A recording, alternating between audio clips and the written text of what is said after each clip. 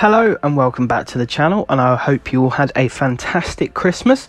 Uh, anyway, you now join me for this week's Forzathon guide called Ultimate Driving Machine, which wants you to own and drive the 2016 BMW M4 GTS. So, this is the car in question, and it will set you back 135,000 credits from the auto show, unless you already own it or can pick one up cheaper in the auction house.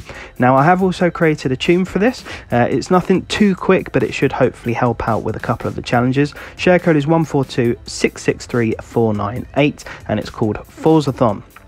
Now, first of all, we're going to move on to the first challenge here, which wants you to earn two hard charger skills. So, for those of you who don't know, a hard charger skill is effectively when you get a burnout skill closely followed by a speed skill. Now, you don't have to have a really sort of short run up between the two, you get about 10 or 15 seconds after the burnout skill to get the speed skill. Anyway, to do this, I recommend doing it somewhere that's nice and straight, so I'm doing it on the highway. However, you could use one of the drag strips.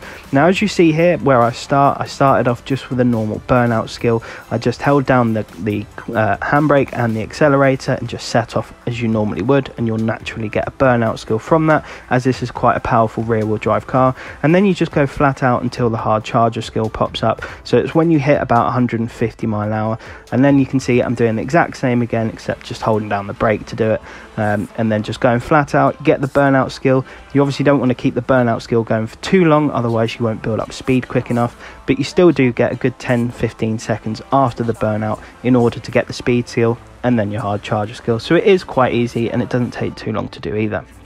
Now the next challenge here wants you to earn 3 stars at the Ladera speed zone. Now normally with a challenge like this you don't have to get 3 stars in one run, you can get 2 stars on one run and 1 star on the last run. However I'm going to try and show you how to get 3 stars on one run here. Now 3 stars is 95 mile an hour and I recommend starting from the right hand side. Now the tune I've created can get 95 mile an hour or slightly above on this speed zone. Uh, however it is a bit trickier so you can obviously tune your car a bit more. But like i said you can probably get away with doing this with two separate runs earning two stars on each for instance to complete this challenge. But it is still achievable to get three stars on one run. Uh, it definitely helps with these left-handers trying to hug them as best as possible. And then the last right-hander you don't actually need to brake for it. You can just let off the gas a little bit and then floor it round and you should get 95 mile an hour. But like I said that shouldn't matter too much now moving on to the final challenge here, it's nice and easy. It just wants you to win a road sprint race. So to do this, I recommend heading over to the Landura Sprint, if that's how you pronounce it, I might be wrong. Um, now obviously any race that's got sprint at the end of it that's a road race will complete this challenge. I've created a race for you to use, it's called Forzathon Easy and the share code is there on your screen. And it's just a normal race but with no AI Drivatars, you've not got to worry about beating anyone and it's a very easy way to win and complete the final challenge there. Now hopefully this guide did help you out. But if you're struggling with any of the challenges, then please do let me know down below in the comments, and I will try my very best to help you guys out. If it did help and you're new to the channel, I very much appreciate if you could subscribe and dropping a like massively helps me out as well. Also, don't forget to stick around for this week's photo challenge guide too.